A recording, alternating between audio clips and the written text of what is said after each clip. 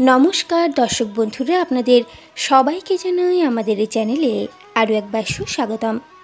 বন্ধুরা, আজ এই ভিডিওর পর্বে থাকছে আগত লোকনাথ তীরথান দিবস। কবে?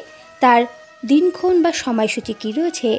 সাথে জানব বাবা লোকনাথের মাহাত্ম বা মহিমা কী?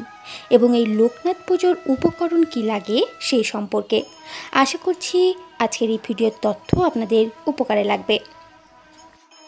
বন্ধুরা, সতেরোশো পঁয়ত্রিশ খ্রিস্টাব্দের যশোর জেলা বর্তমানে পশ্চিমবঙ্গের উত্তর চব্বিশ পরগনা জেলার বারাসাত মহাকুমার অন্তর্গত চাকলা গ্রামে লোকনাথ বাবার জন্ম হয়েছিল।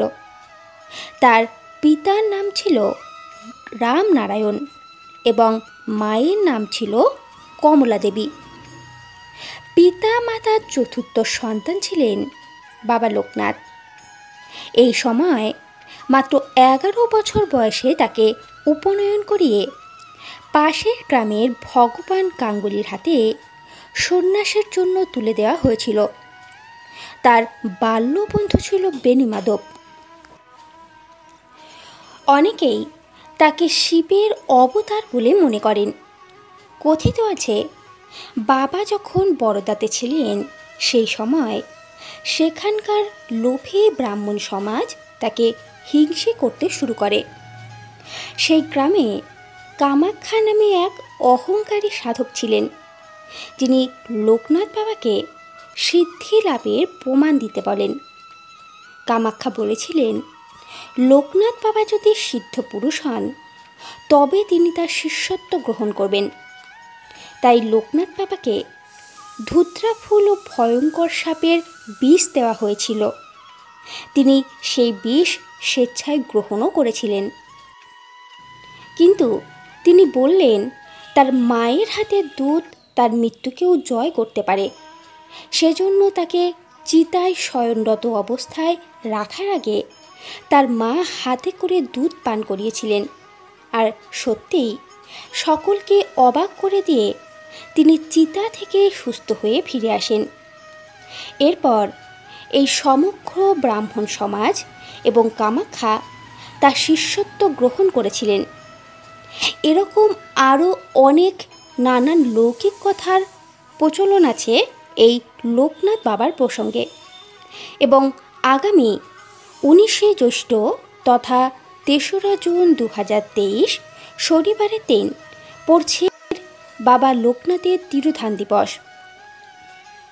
কথিত আছে যে বাবা লোকনাথ বাংলাদেশের নারায়ণগঞ্জের বড়দি আশ্রমে যখন তিনি সমাধিস্থ হয়েছিলেন, জানা যায় তখন এক ভক্ত পুত্রের যক্ষারোগ নিয়ে বাবার কাছে আসেন এবং বাবা নিজের শরীরে সেই যক্ষা রোগ ধারণ করেন এবং বালকটিকে পুরো সুস্থ করে তোলেন। এবং এই ঘটনার কিছুদিন পর বাবা লোকনাথের সারা দেহ যক্ষা রোগে আক্রান্ত হতে থাকে এবং তিনি দেহত্যাগের সিদ্ধান্ত নেয় এবং সকলকে তার দেহত্যাগের ঘোষণা করেন এবং একশো ষাট বছর বয়সে এই উনিশে জ্যৈষ্ঠ মহাসমাধিতে বাবার তিরোধান হয়।